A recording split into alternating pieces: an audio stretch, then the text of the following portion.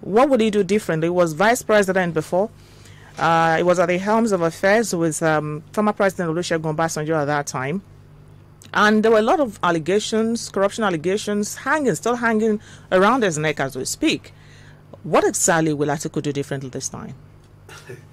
Well, before we get go into details Yes, I of know, I know, I some know. of these allegations, Yes. I have them here. No. If anybody says that there are corruption allegations hanging on his neck, it is just speculation because he has not uh, been convicted by any court of law, any uh, court of competent jurisdiction to say that, oh, yeah, anybody can wake up and make allegations, but it will not be enough. You have to prove, you know, and once it's proved, such a person probably be convicted by the court. Then it stands that this person has been charged for corruption and convicted for sin.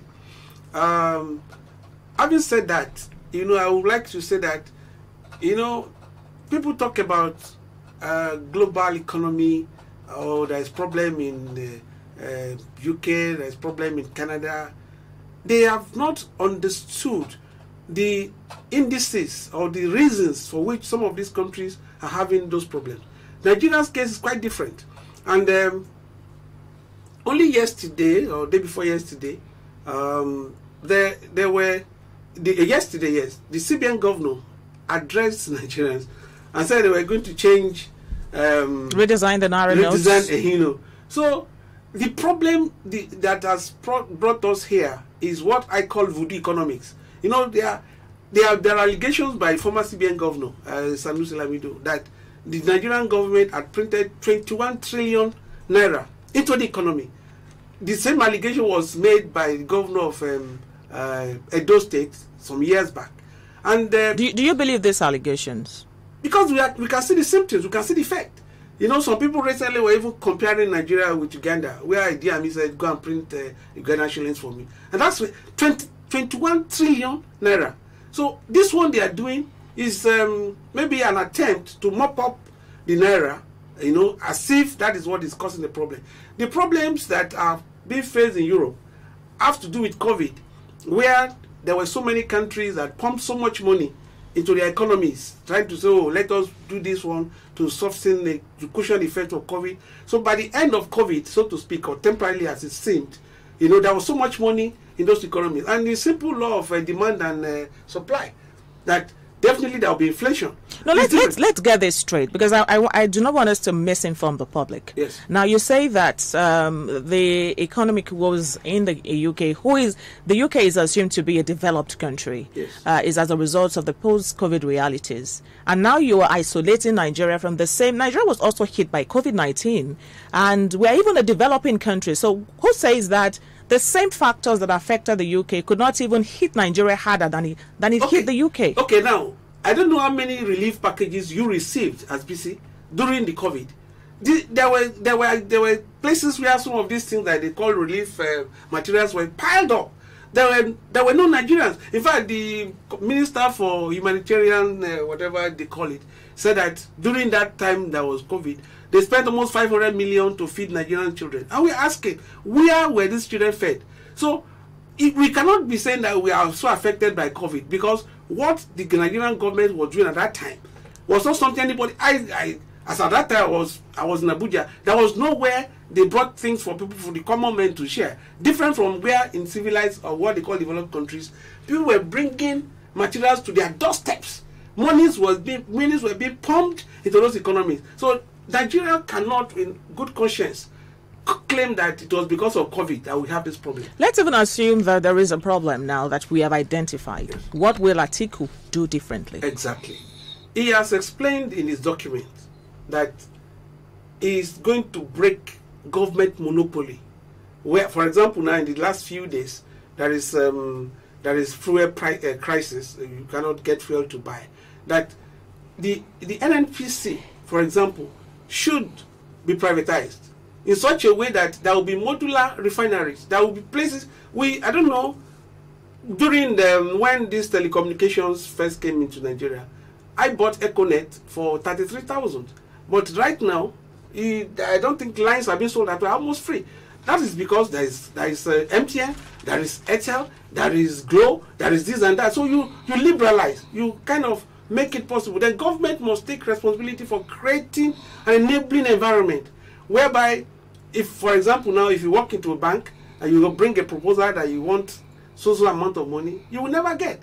But some other persons will get the same money, and you know, right now there is uh, what they call parallel market.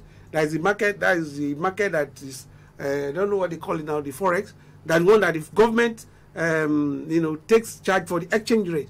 And Sanusi also explained that there are rent seekers, rent uh, rent seekers in the sense that they just take maybe one million dollars from the central bank and take it to the at the rate of 400 naira per per dollar and take it to the uh, parallel market or the one that they call black market and sell for 720 or 700 uh, naira per dollar instantly on the same day they have made about 300 million without lifting a finger. So how do you intend to run an economy that will be effective under that kind of situation? These are the things that atiku abubakar is saying is going to address to make it possible. Government let government face its assignment of creating enabling environment then stimulate you know stimulate the the economy in such a way that it will be able to rise up to the challenges of everybody. Because all this one you are talking about exchange rate exchange rate what affects the ordinary man is that what is the price of gari in the market? What is the price of uh, pupuru like in my place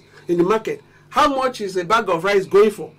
But we have seen a government that assembled people that just practice voodoo economics. They are not interested in the the general laws that govern things and that is why we are where we are. So i believe very strongly that based on his antecedents based on what he has been able to do in the past we have no doubt that uh, atiku abubakar will be able to address some of these lingering economic crises that will bring succor to nigerians Okay, one of the issues that Nigerians have been talking I don't know about. if I can just tag on on, on Okay, that briefly, economy. briefly. Yeah.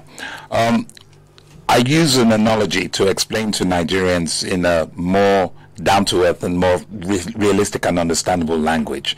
But when you say you want to address the economy, uh, you're talking about agriculture, industrialization, and commerce. That's what the three components are of the economy.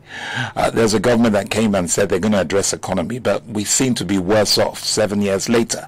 But the point of the matter is this: your question is, how will Atiku do it? When you go into a doctor's surgery because you're uh, uh, uh, clinic because you're ill, you don't ask him his religion, uh, he, his political party. You go there because you believe he's going to make you well. When you take a taxi from uh, the center of uh, of Akure and you come to Adaba, you don't ask his political party or, or his religion. You, you you enter because you believe he has a competency to get you to your destination. Everybody needs to look at the documents of the political parties and say to themselves, what these people are saying about economy, is it real? Can they do it? Is it achievable? Agriculture, will there be more food? Can we sustain ourselves? How are we going to get the farms working again?